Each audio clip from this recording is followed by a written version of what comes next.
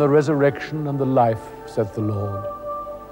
He that believeth in me, yet shall he live. And whosoever liveth and believeth in me shall never die.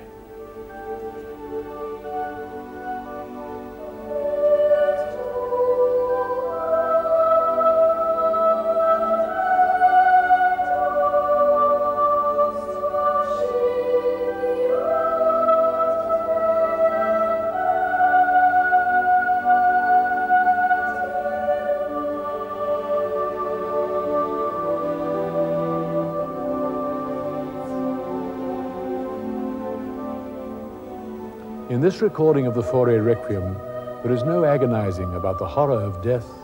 Fauré concentrates on the peace, serenity, and sensitivity of the Requiem Mass. He might almost have taken these words from the service as his format. I heard a voice from heaven saying unto me, Write, from henceforth blessed are the dead which die in the Lord. Even so saith the Spirit, for they rest from their labors.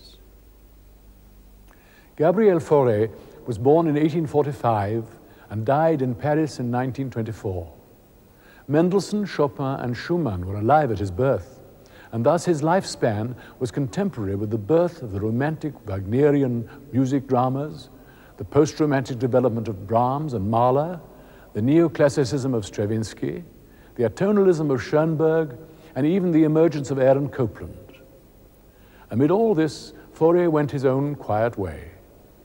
In successive eras of music drama, Strauss's noisy tone poems and Stravinsky's ballets, he wrote intimate music, quartets, quintets, songs, and piano pieces with nondescriptive titles like Impromptu, Barcarolle, Nocturne, Prelude. The major work of his early period was the Requiem in 1887. He became director of the Paris Conservatoire in 1905 and ran it with a firm hand. The small, mild, innocuous-looking Fauré proved to be an excellent administrator and a man of firm opinion. As head of the Conservatoire, he started to introduce some reforms and was faced with a revolt. The Conservatoire professors couldn't see why things couldn't be done as they'd always been done in Cherubini's time.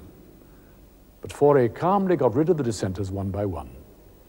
In fact, so numerous were the resignations that it began to be said of Fauré that, like Robespierre, he needed his daily cartload of victims. Then came tragedy. Deafness set in, complicated by a distortion of pitch. High frequencies sounded flat, low ones sounded sharp. Yet Fauré continued to compose, and some of his very best music comes from that late period. News of his affliction became public, and in 1920 he was asked to resign from the Conservatoire. Yet almost to the day of his death, he continued to compose and finished his string quartet, the only one he ever wrote in 1924. On his deathbed, he began to wonder if he'd ever written anything worthwhile. What of my music will live, he asked. But his work has attracted a small but fanatical band of admirers, and those who love the music of Fauré love it as a private, cherished legacy from one of the gentlest and most subtle of composers. Eternal rest grant them, O Lord, and let perpetual light shine upon them. A hymn, O God, becometh thee in Zion, and a vow shall be paid to thee in Jerusalem. O Lord, hear my prayer. All flesh shall come to thee. Lord, have mercy. Christ, have mercy.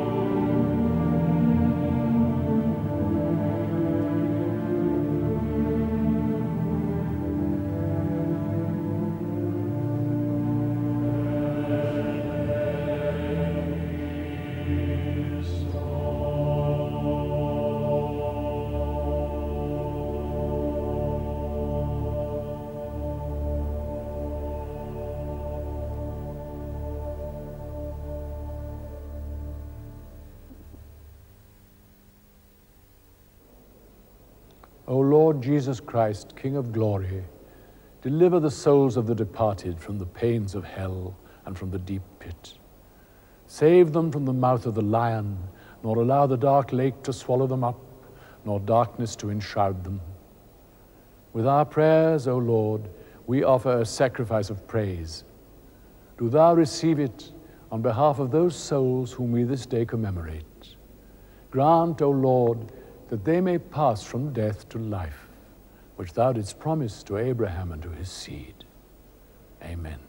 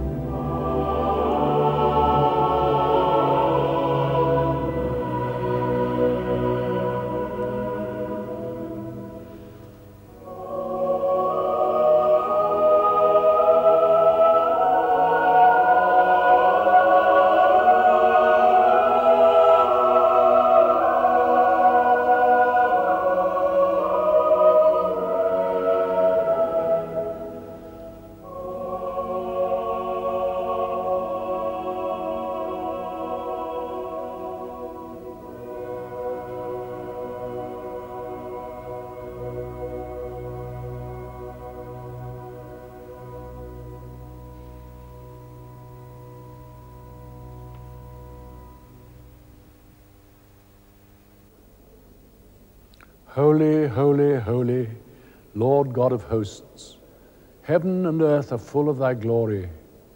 Glory be to thee, O Lord. Hosanna in the highest.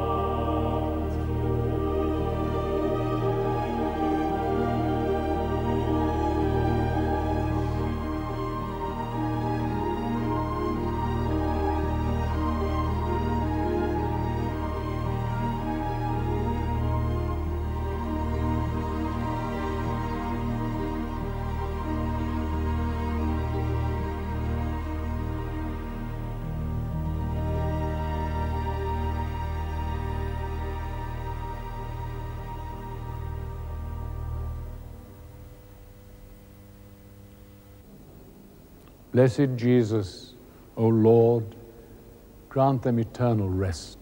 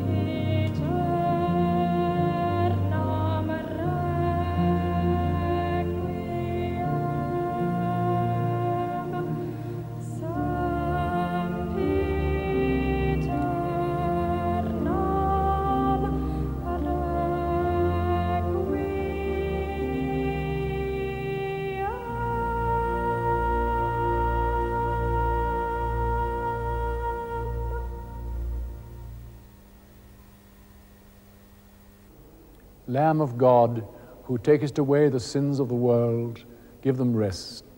Let perpetual light shine upon them, together with thy saints, for thou art good.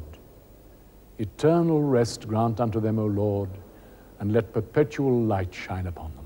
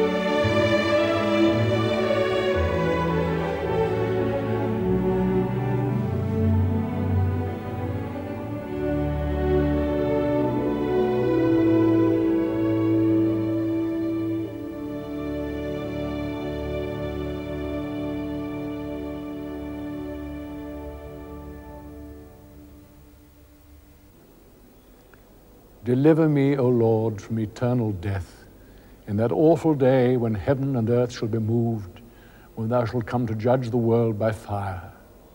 Trembling I stand before thee, and I fear the trial that shall be at hand and the wrath to come. That day, a day of wrath, of calamity, and of misery, a great day and exceeding bitter. Eternal rest grant them, O Lord, and let perpetual light shine upon them. Deliver me, O Lord.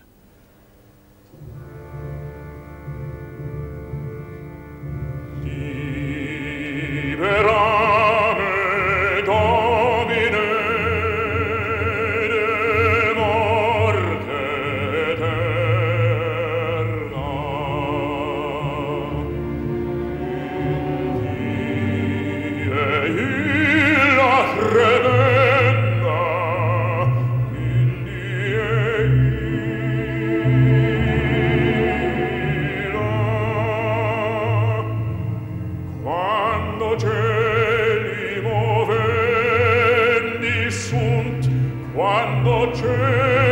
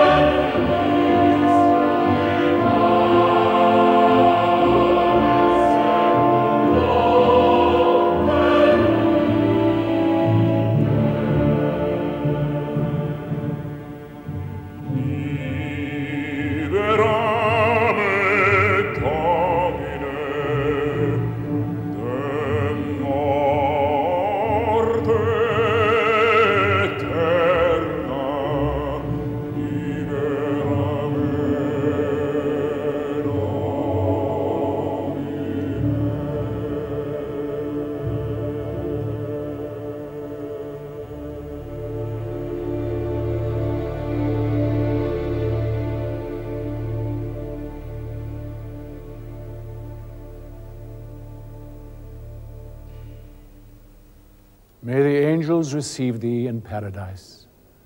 At thy coming, may the martyrs receive thee and bring thee into the holy city Jerusalem. There may the choir of angels receive thee, and with Lazarus, once a beggar, may thou have eternal rest.